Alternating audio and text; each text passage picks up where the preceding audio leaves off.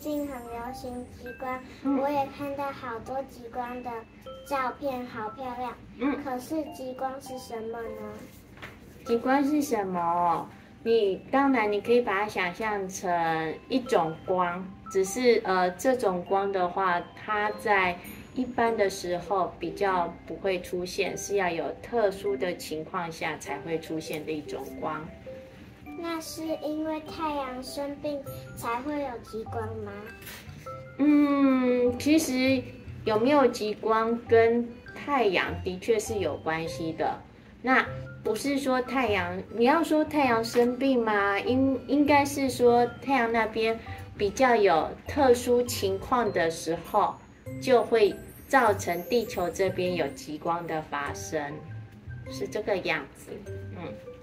极光好漂亮，为什么有颜色啊？有多多少颜色？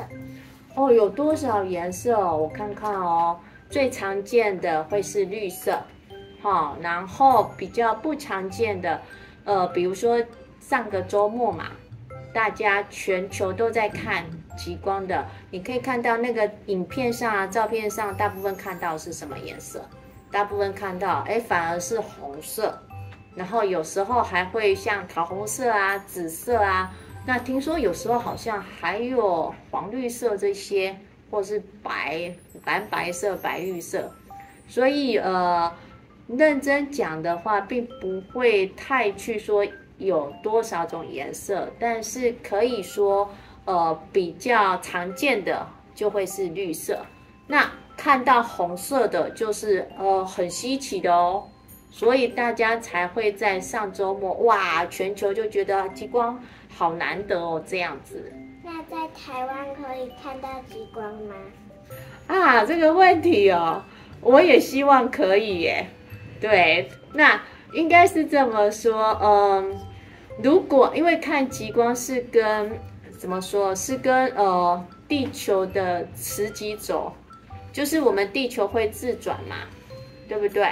那当然也会绕着太阳公转，但是转的轴是自转轴，但是还有另外一个轴是跟磁场有关的轴，好啊，所以那个极光的呃能不能看到极光是要看那个地磁轴的纬度。那目前的话，台湾的地磁轴纬度还是蛮低的，所以目前是看不到极光哦。我们需要使用电，但有时候用太多电会跳电。如果极光可以发电就好了。极光可以发电吗？极光可以发电吗？呃，你觉得呢？呃，极光可以发电吗？当然不行啦。嘿，对它怎么说？呃，它是一个呃一个。发电哦，发电是发电，有点像是产生，哈，要产生。但是极光它有点像是呃结果，嘿，所以极光它不能发电的哦，它还不够发电。但是你如果说呃太阳的话，呃太阳它会发光发热的话，那的确你可以把它想成，哎，太阳就是一个发电源这样子。最后，我想帮我妹妹问一个问题。妹妹说极光像彩色的棉花糖，请问极光可以吃吗？哎，你觉得可不可以吃？通常我们要要吃到，是要先摸到拿得到，对不对？可是极光拿不拿得到？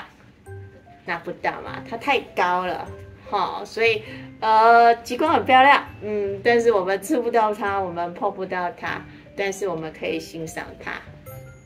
谢谢两位老师啊，谢谢你的访问，谢谢琪琪。